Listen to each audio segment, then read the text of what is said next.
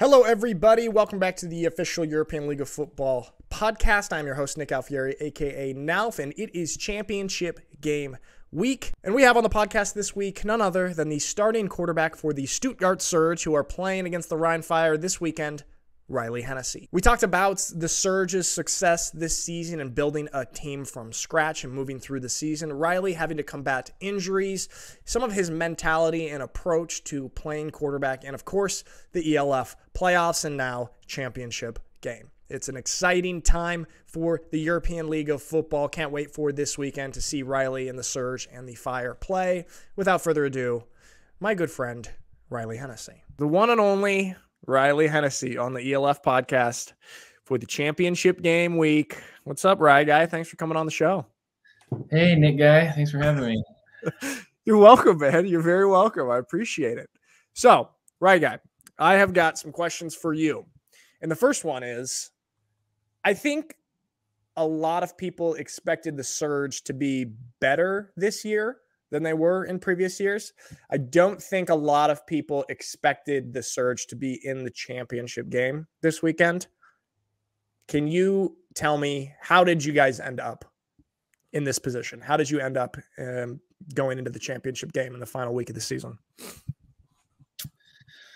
Goodness. Well, started obviously a long time before the final week, uh, all the way back in, for me, November, when uh, yeah, got the opportunity to come and play in, in Stuttgart for Coach Jordan Newman, and uh, yeah, and then kind of the dominoes just kept falling after that, as far as just player after player. Obviously, um, there's what 16 of us from the Unicorns, um, which is a good number, but obviously it's not the entire team like everybody makes it think.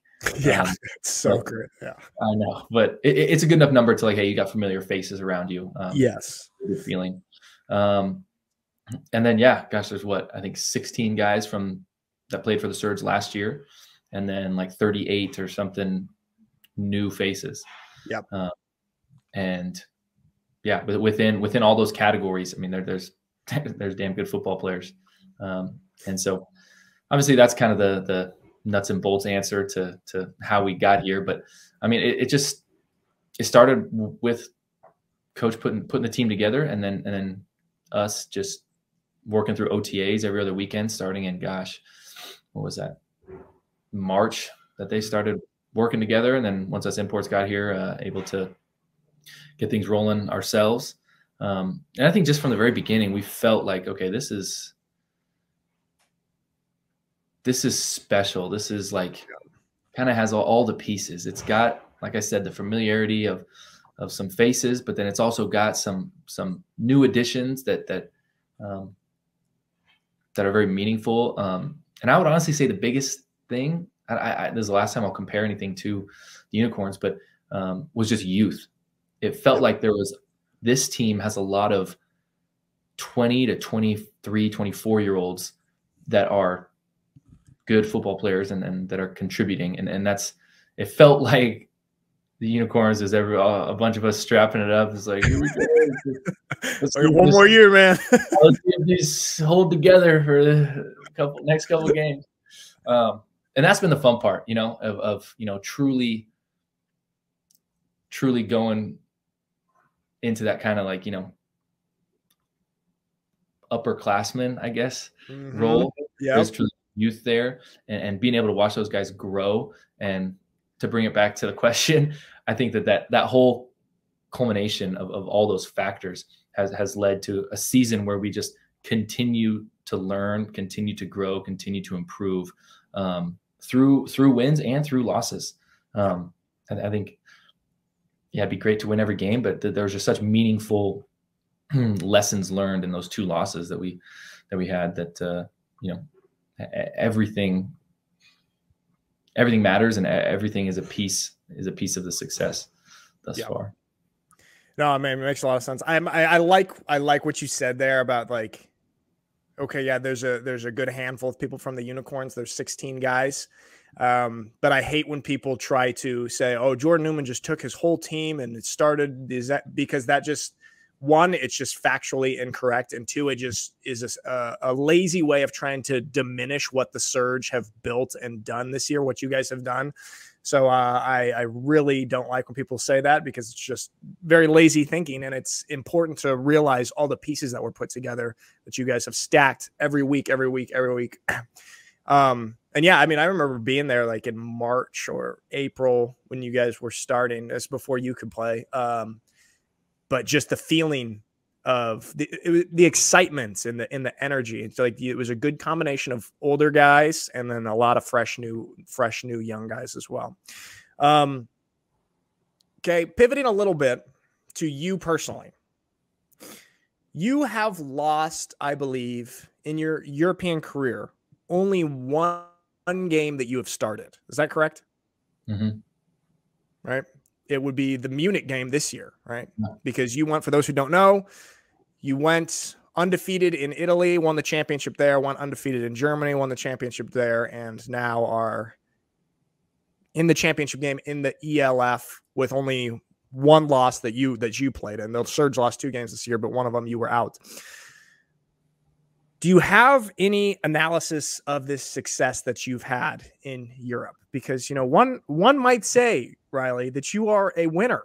One might say, not me, but one might say that you are a winner. Do you have an analysis of this success that you've been able to have in Europe these past three years? Yeah, one might say I'm a winner. One criticism I've heard is, uh, you know, I just play on good teams. And who's who said that? Your dad? Was that Pat? That was not Pat. Uh, thankfully, no, just some just some lovely critics. Which yeah. there's some truth in that. I, I, have played for incredibly great and successful organizations, um, and have played with with very good players around me. Um, and yeah, if you watch if you watch my game, there, there, I don't I don't think there's anything overly sexy about it. Um, I'm I'm not doing crazy stuff. I just mm-hmm. I take a lot of pride in just operating, of just doing my job. I, I, constantly say like my job is to get the ball to the athletes. Like let just the faster I can get them the ball, they can do the crazy stuff. Um, and so yeah, w- whether I don't like the term game manager, but but certainly certainly someone that wants to you know keep everything moving forward. That's just kind of my job. Whether that's three yards of play, great, I'll take it because because eventually that leads to success. Um, when when those shots are there, take it. Um, but yeah, I, I just love the game of football, uh, kind of inside and out. Obviously, love playing it, but at a young age, fell in love with the X's and O's, and and constantly. Uh, um, constantly in conversations with Coach Newman. Back in Parma was one of the, my favorite times. I got to basically kind of co OC with uh, my buddy Sandro, and uh, Coach Mattioli did the defense. Me and Sandro did the offense. Um, and yeah, it, it was it was so much fun. Um, and so yeah, just just constantly being a student of the game and constantly learning and trying to adapt and trying to figure out every single week, like, okay, what are the strengths of this defense? What's what's the weaknesses? What do we do well? What do we not do well? How, how do we kind of mesh those two uh, two things together to make sure that we're putting ourselves in the best position to be successful? Um, and have found, have found a great um, relationship with with Coach Newman and and our I would say our, our philosophies kind of um, match up, but also differ enough that that ideas bouncing off each other are, are still new and still something that the other one wouldn't have thought of necessarily, or isn't isn't their instinct to to do do one thing, which that's definitely a piece of my game that I've that I've improved on uh, playing under him, and uh, yeah, I, I just love being around it and, and hearing it. Um, and I just think all those all those are what I attribute my success to. Is just you know I pride myself in in just putting myself in the best position to to be successful. Um, starting starting Monday uh, of a game week, and so yeah, yeah. Other than that, just get good teammates and uh, run scared. Run scared. that has been one of your secrets. That has been one of your secrets. Actually, but just off what you said there, I, it's it's been cool to see because I've seen it a couple times with you and Coach Newman. Like going back and forth on things. Like you'll say you'll you'll bring up an idea and then he'll bounce it back, and you guys will go bouncing forth and figure something out. I've seen that just from the outside a couple times. It's really cool to see. Um, and what you said about like when you came back from your injury and I was interviewing you before the game and you know, you know, really pushing you, trying to get a good soundbite, really trying to, you know, just get a good soundbite. Yeah. Um, but you were just very calm and you're like, I mean, it's not my job to win the game. It's just my job to get the ball to the people. Uh, it's my job to, um, you know, not you, not, not uh, overly blow out of proportion your responsibilities. And I think that's which one of the things that you do a very good job of, as well as running scared, which brings you a lot of success like that. Really good. Um, you missed games this year. You had an injury, yeah. and then you came back. Can you talk to me a little bit about the mental aspect of that, especially as the quarterback, especially as the clear one of the clear leaders of the team, um, both on the field and then emotionally as well? How was this situation um, that you had to deal with of, of having to kind of take a step back and and let other people run the team for a while? Yeah it sucked. Nice. Okay next question. No I, I mean it's it's difficult. It's it's and it's it's kind of an individual challenge. You go from being on a team and everything's so focused on like how do we win? What do what do we need to do to all of a sudden like the team still has to maintain that but then you don't get to be a part of that in the same uh, position, basically. Yeah. And I mean, I, I, I cannot appreciate enough both Jan and um, Ken for just the the mindset they came in with, and and I mean, th- there was no animosity, there was no like even competition type aspects. It was just like they came in, and it was all just how again do we find ways to win.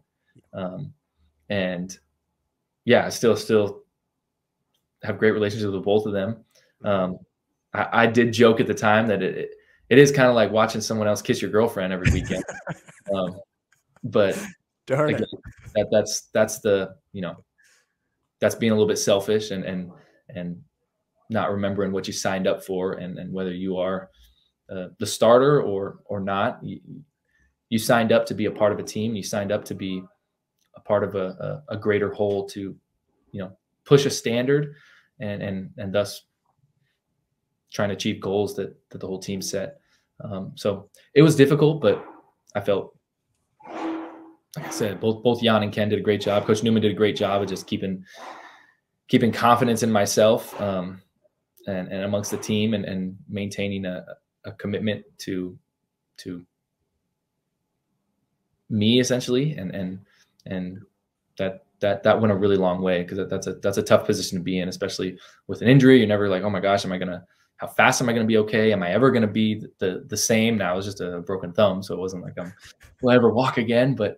Uh, but never walk again. You, know, you just don't know like what what's the grip on the ball going to be like and and stuff like that. So all those questions bouncing through your mind, and then uh, you know, watching watching the team continue to be successful. It, is a positive, but also sometimes can be hard yeah. to, mm-hmm. um, you know, to deal with that because because the show goes on, the, the the ship keeps sailing, and and you know you've got to swim as fast as you can to just try and keep up with it. Therefore, once you're once you're better, it's it's you know you're not behind anymore. You're still just right right there. I, I like that. The ship keeps yeah. sailing. You got to swim fast as you can to keep up with it. Yeah, that's like one of the weird parts about football is like when when you are injured and you see still you still see the team like of course you want the best for the team but there's a little part like when you see the team be successful or win games without you i remember feeling that like when i was hurt and be like ah, don't you guys need me darn it you know like part there's that little part of you in there uh, and I think everybody has that. I had a couple conversations with with Jordan, with Coach Newman about that. It's just with football, it just keeps going. It keeps mm-hmm. going with you or with you out without you. But I think it's a, a a really like not to be overlooked as well for the surge, kind of that adversity that the team went through with having their starting quarterback be injured in the middle of the season and then having to work with two other quarterbacks at different times and then still maintaining you know the growth and the success and then kind of bringing it all together once you come back to that's uh that's another part of the surge storyline I think gets overlooked that the team had to play with three different starting quarterbacks during the season as well. Um, this past weekend had a big win in Vienna. In Vienna. In Vienna, which is in Austria. Good day, mate. And um, this is a comedy podcast. Don't forget. Yeah, yeah. Here all week, actually. Here all week. Yeah. So I, buy, buy my tickets. Can you talk to me a little bit about the win in Vienna? What's your analysis of the game? Uh, just kind of give me your perspective of that game and the win. Yeah, I mean, we went into Vienna knowing that we're going to go against a very talented, very sound team, um, a team that that has a lot of confidence and and, and knows what they need to do and, and is able to do it. Um, yeah, I think I think one of our biggest strengths is uh, is that we're kind of underestimated and that nobody kind of understands not understands but no one knows what to expect. And i think our physicality um, kind of shocked some people.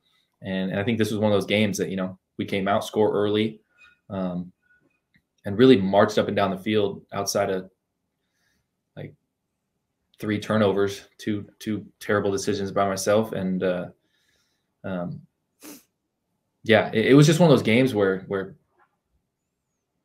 certainly offensively, you just felt like, okay, they can't stop us. Like if we just hold on to the football, we'll eventually end up in the end zone.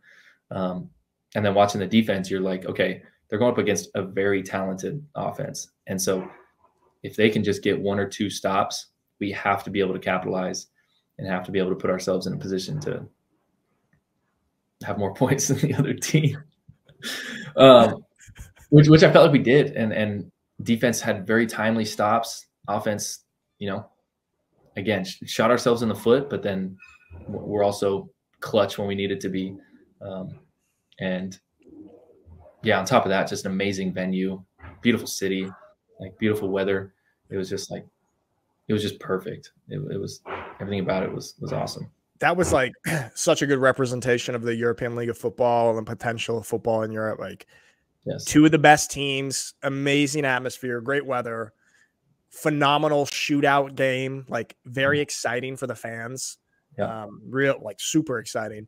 Um, and then Surge came out on top. I, I, I wanted to ask you, like, I think you do a really good job at when a mistake is made, when a pick is thrown, or when something goes wrong, maintaining a um kind of a, a forward looking or positive or neutral outlook. Like I feel like you never get you you never dip when a mistake is made. Like there's uh, one of the picks on the game on on uh, on on Sunday. Was it Sunday? No, it was a Saturday. Saturday. A lot of days ago, man. But you just came off the field and you're just like, "Yep, yeah, okay, mm, yeah, got it. Yeah, all right, move forward." What what can you talk to me a little about your mentality when when coming back from a mistake? Because I think you yeah.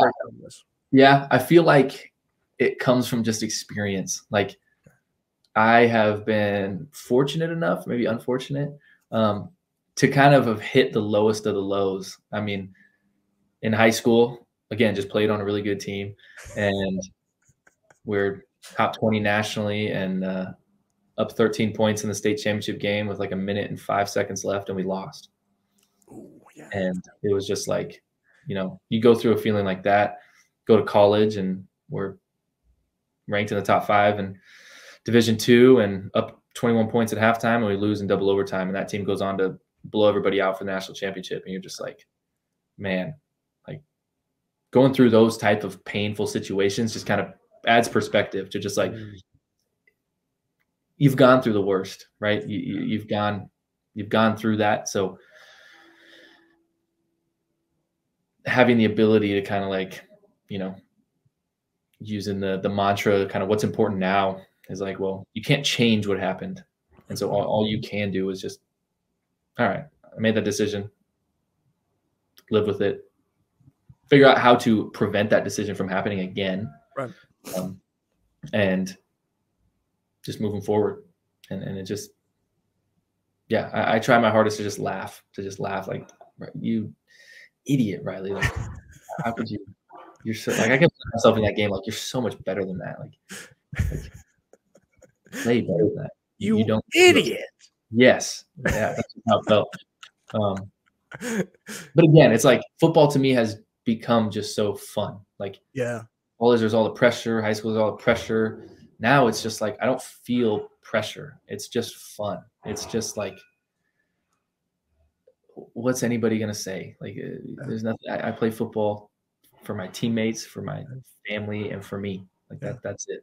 And so, uh, yeah. Most importantly, I, I'm only responsible for one person, and that's myself first and foremost. And so, as long as I can, you know, laugh at laugh at myself, then then I feel like I'm in a pretty good headspace and, and can let things kind of roll off my back.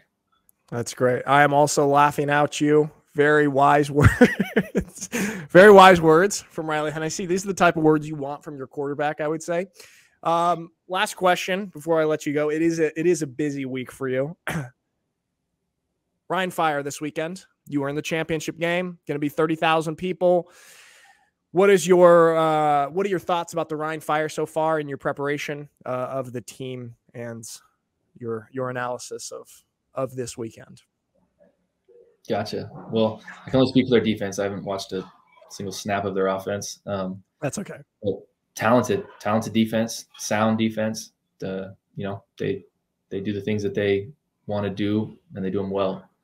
And so it's uh, it's gonna be a great challenge. And and you know we're working hard this week to to you know find find weaknesses and, and you know try and put ourselves in positions to exploit them. And so um, yeah, we're gonna you know do a little bit of running the ball. We're gonna do a little bit of passing the ball.